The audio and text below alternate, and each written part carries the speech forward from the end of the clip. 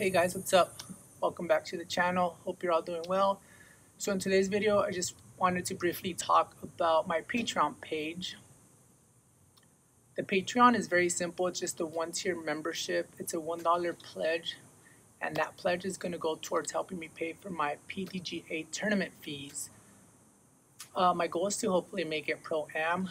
I did make a few of these custom pins that I will be shipping out to people that sign up as a thank you. So I really do appreciate your support. So like I stated, the money from the Patreon will help me pay for tournament registrations and I will continue to make YouTube channels and continue to post disc golf content on my Instagram and obviously the YouTube channel as I make more progress and hopefully move up in the ranks.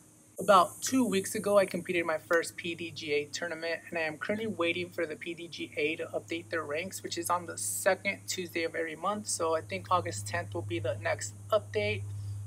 I did end up finishing ninth out of 25 competitors in the recreational division. So I am very proud of that, considering the tournament was three rounds over two days. So it was a very, very long and exhausting weekend but it was a very fun experience and I am really looking forward to my next tournament which I have already signed up for. So I just wanted to make this video to let you guys know I made a Patreon so thank you for your support. I will post a link to the Patreon page below and I hope to see you guys next time. Have a great day.